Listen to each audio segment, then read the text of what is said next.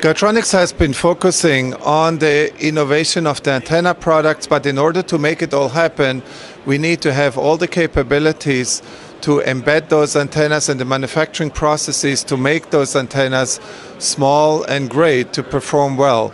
So there are a few major technologies that we're using. One of them is the stamped, the high precision stamped metal element antenna technology that we have been using for many, many years. The company is having a very high expertise on that. We combine it with plastic carriers and plastic elements that are then in molded or combined.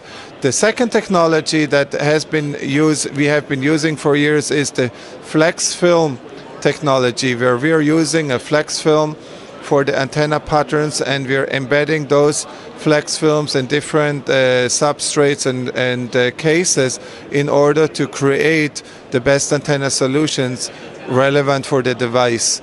The other one is the two-shot molded antennas. Our company has been specializing on two-shot molded antennas, high capacity, high volume production with in-house mold making capability of those two-shot tools. The last one and the most uh, advanced one and the one that gives most of the flexibility is the laser direct structured technology. The technology is used uh, in smartphones today where we take a plastic carrier, we let the laser structure the pattern of the antenna then, wherever the laser has been touching the piece, there is a, a, methodology that then we can plate on that and later paint on it. So, really, when you keep that antenna in your hand, it is a piece of plastic that you see two contacts. You don't see even what's going on within that antenna.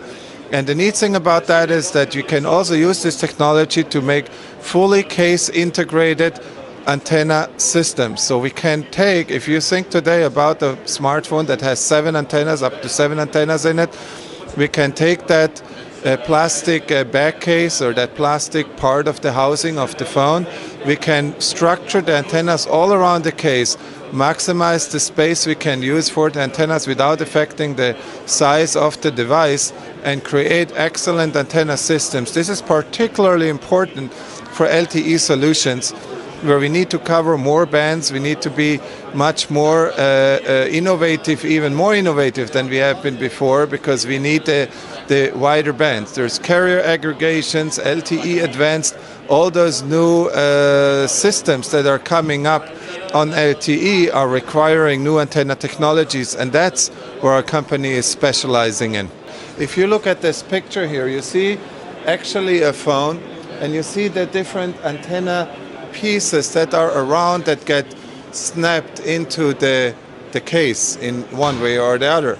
So the idea is to actually take all those pieces and not make them anymore. You make one big plastic piece that is the whole housing of the antenna.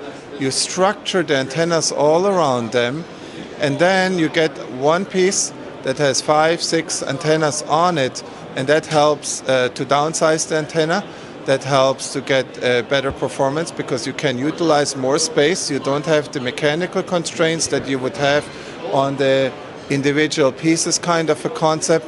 And we're uh, really excited about what this will do in the coming uh, years in order to improve the smartphones, to make it a more global phone, to reduce the drainage on the battery because the antennas will be better.